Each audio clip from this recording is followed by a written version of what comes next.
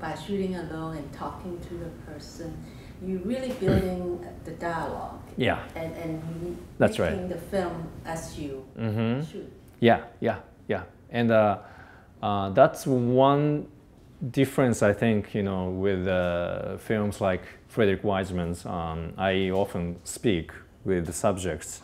Um, I'm not calling it interviews, but uh, I'm calling it conversation.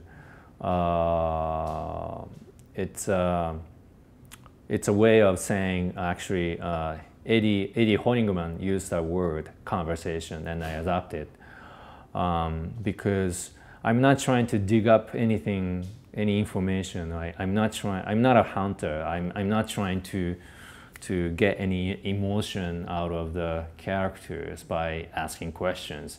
It's more about uh, conversation, uh, which would happen even if um, there were no camera rolling.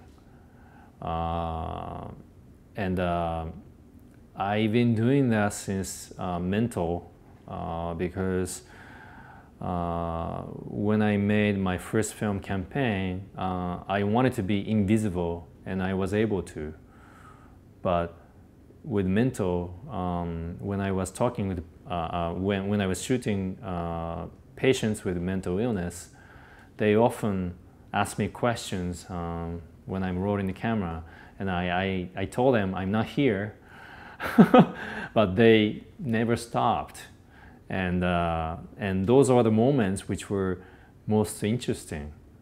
And uh, I, when, when I was rolling the camera, I felt like I was not able to use these moments, like, you know, Mr. Sugano, the poet, says like, hey, cut, cut, like, you know. Um, and um, I, I thought it was interesting, but I, I, I wasn't able to use it, I thought. But then when I was editing, if I cannot use the most interesting moments because of my uh, uh, philosophy or, or, or method, my philosophy or method is probably wrong because you are you are you have a philosophy or method to create an interesting documentary, right? I mean, good documentaries, and then not not the opposite. So I decided, well, I need to change my philosophy a little bit, adjust it, adjust it, um, and I came up with this idea. Um, well, observational uh, documentary for me, um, being observational is always um, participant observation. Um, there is a, this is a term from um, um, uh, cultural anthropology, like um, you are observing somebody, but you are already affecting somebody by being there, right?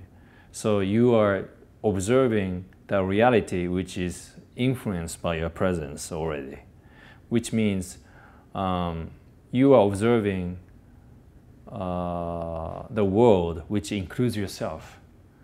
So my observational films um, is about uh, observing the world which includes myself. That's the concept I, I, I, I chose.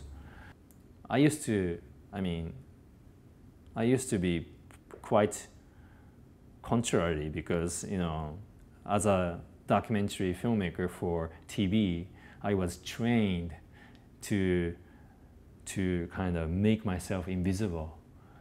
If they behaved as if there was no camera, that was that's successful. I used to think, but now I, I have a different opinion. Um, it's okay if somebody react to the camera because it shows their personality, you know, by the reaction.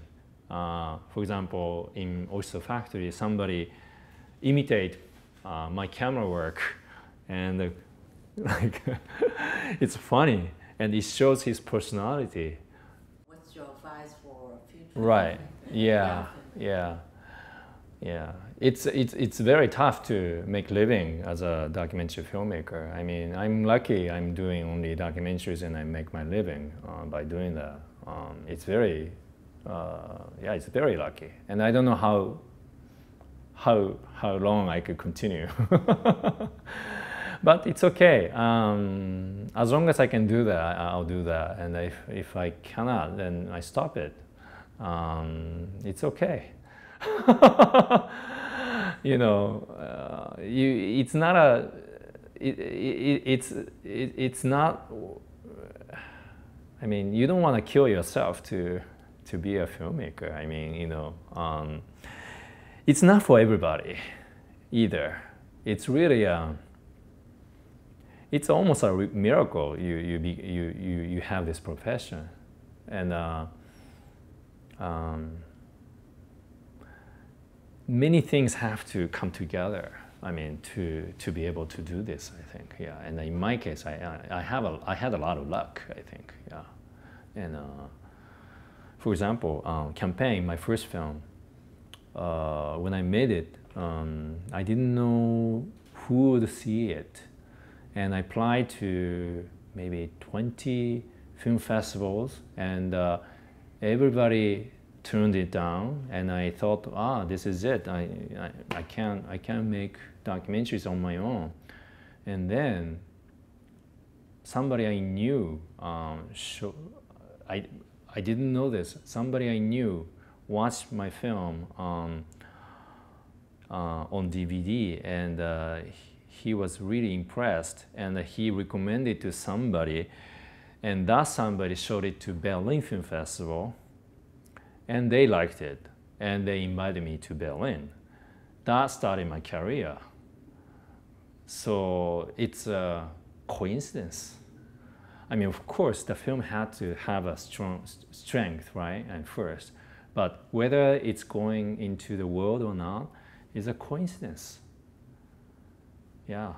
So uh, just like a documentary relying on coincidence, our life relying on coincidence as well. Yeah.